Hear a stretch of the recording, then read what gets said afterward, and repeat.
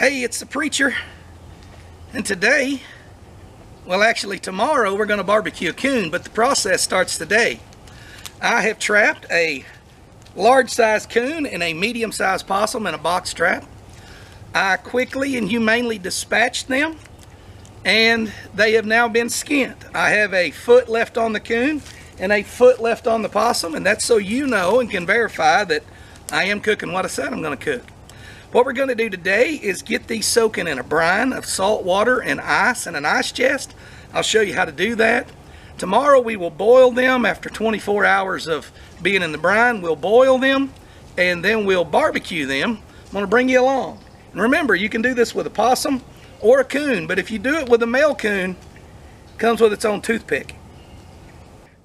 We're going to make a brine. Now, I don't have enough room in my fridge for a large coon and a medium possum. So what I do have is an ice chest and I've got a pretty good layer of ice on bottom.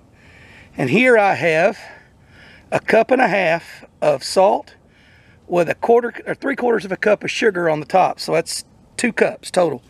I'm going to put that all over the possum and the coon. And I'm going to start this, I'm going to start this filling up.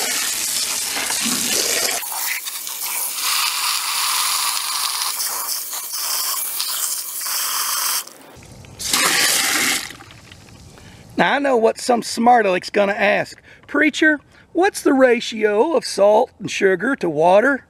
Uh, I don't know. Just put salt and sugar in there and cover it with water and see what happens. Golly, that is cold.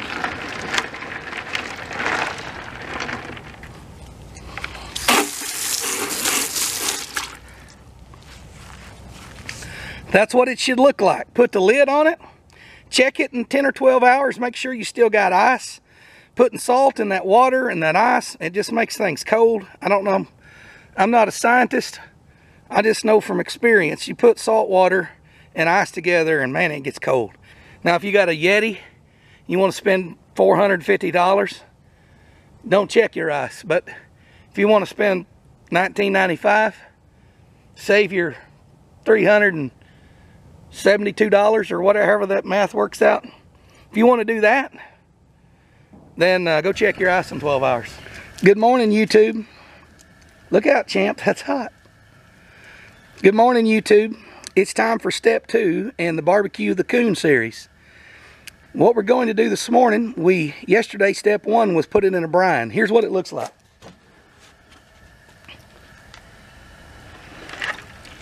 It has been soaking in that saltwater mixture for just shy of 25 hours, 24 hours.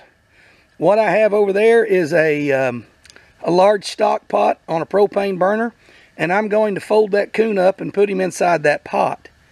And we're going to boil him and fully cook him in the pot so that when we barbecue him, we're just adding our flavors then. All right. Step two is underway, boiling the coon. We're going to let him boil for probably an hour or two until the meat is just about to fall off the bone. It's been two hours. Let's have a look at it. Woo wee, that's looking good. I did come back and add uh, half an onion sliced and uh, I don't know, some celery. I don't remember how much a handful.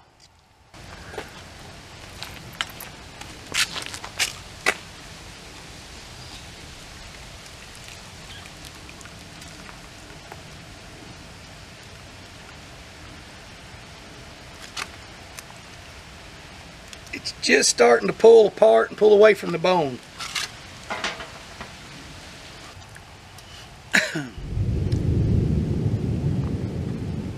That's the sound of freedom right there.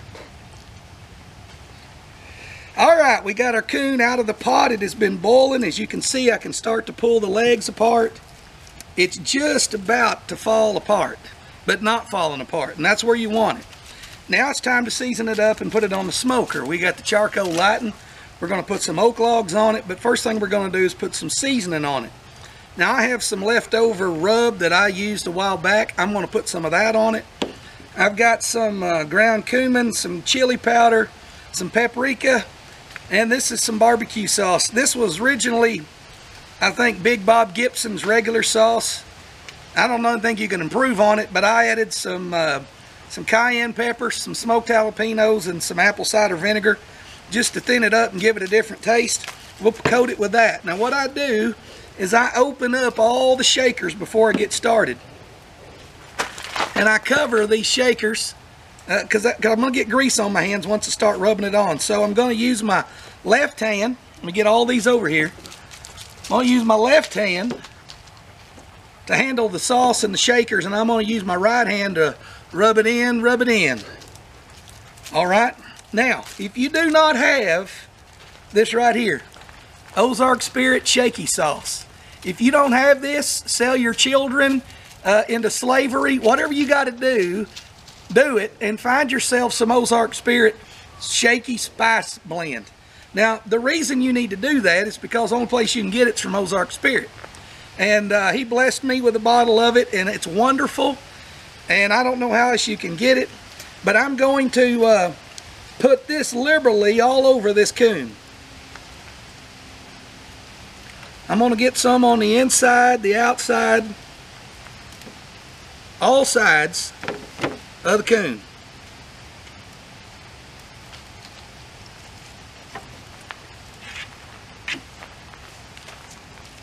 This stuff is delicious. I got some of this leftover rub of mine. I'm going to put it on there.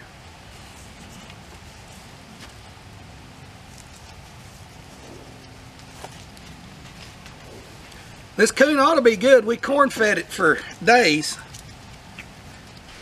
All right, now that I've got a pretty good, well, I missed a spot right there. You go sparingly with, sparingly with Ozark Spirit rub because you can only get that in one place in Ozarks. I know the guy that makes it. Now that it's covered and everything's there, I'm going to use that, that uh, hopped up Bob Gibson sauce and I'm going to just rub that in. That'll help lock in all the rub that I put on there and give this give this coon a nice barbecued flavor.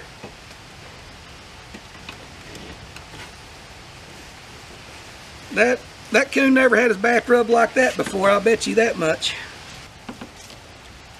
I think he's ready for the smoker. Let's get our fire ready and we'll put him on. Okay, it's just after 12 o'clock. I just set the coon on there and I, I, put him neck towards the front. That's just the way he fit. I put him on his side. That way if he started to break down and collapse, he'd collapse on himself and not back behind my smoker. My smoker's kind of homemade, shifty. And I put five pounds Arkansas round steak on there. And uh, I mean, if you're going to smoke a coon, you might as well smoke five pounds of bologna. We're going to have a hayride and a bonfire and a cookout at our house tonight for the church. And there's going to be a lot of them that will not eat that coon. But they'll eat the lips and rear ends off a horse in this baloney. So, you know, to each his own. I, I'm a I'm a pastor to all kinds, and I try to have a little bit for each. And I'll have a bunch of hot dogs for the kids. We're even going to cook up some deer meat. So uh, anyways, we'll come back whenever I think that's done, maybe an hour or two. We'll look at it. Let's have a look at the coon. The coon's been in here about an hour and a half. I added charcoal one time. Uh, my oak log, my little oak log is burned up. About an hour into it, I spun it around butt first because this looked like it was kind of drying out. That Arkansas round steak looks good. See how you just take that leg and pull it apart? That's when you know meat's about right. I tell you what. Man, that's good. oh my gosh. Now I'm going to take that inside and let it rest and let it cool completely down. Then we're going to pull it apart and uh, we'll add some we'll add some barbecue sauce if we need to, but we'll get it inside. All right, there's our coon, fully cooled down and ready to be picked, pulled apart. I'm gonna pull everything apart and put it in this foil pan right here. So first thing I wanna do is pick it up, set it over here on the cutting board. And I'm just going to begin the process of pulling this leg bone off here. You see all that meat there coming off with it? I'm going to try to separate some of the fat, but for the most part, I just want chunks of meat in the pan. Just like that.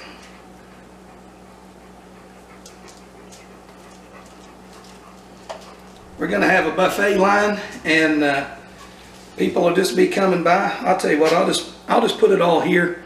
That way we can kind of get an idea. I'll put the bones back on there. That way we can kind of get an idea of how much meat it made. And you see it all laid out there. So basically, this is me doing a front leg here. You got to be careful on the front leg because down here toward the bottom they have, looks like three bones and I cut them with a set of snips when I cut the paws off. So I want to make sure I don't pull out a, a piece of bone. Get a piece of bone. Nobody wants to bite into a bone. I know I don't. Alright, there's the front leg down. Let's try a back leg. It's like a big ham here.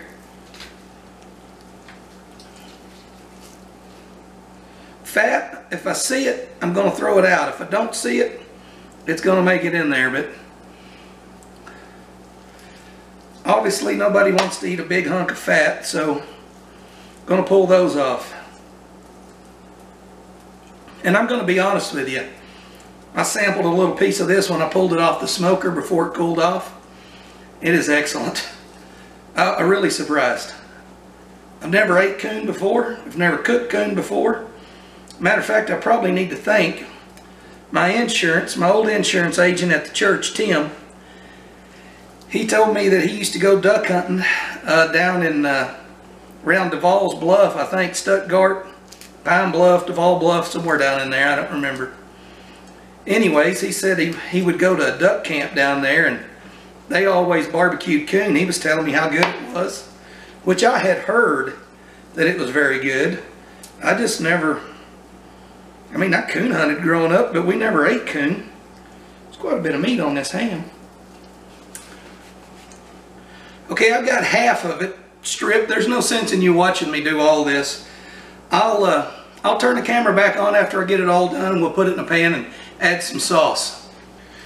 Okay, there's what you get when you're done. And I'm going to be honest with you, it's pretty good. So what I'm going to do is squirt some of this uh, sauce over it. Remember this is Big Bob Gibson's from Decatur, Alabama. I don't think I made it any better, but I made it different. So I'm going to put enough of that on there to keep it moist and from drying out. And uh, I'm going to stick it in the oven or in the smoker just to keep it warm till I get here. Because one thing I've learned about coon, it's better warm. So put some foil on it, wrap it tight. Get it good and tight like that. Because see, when your guests come over, you want them to unwrap coon like they're unwrapping a Christmas present on Christmas morning. So wrap that tight. Don't tell them what it is.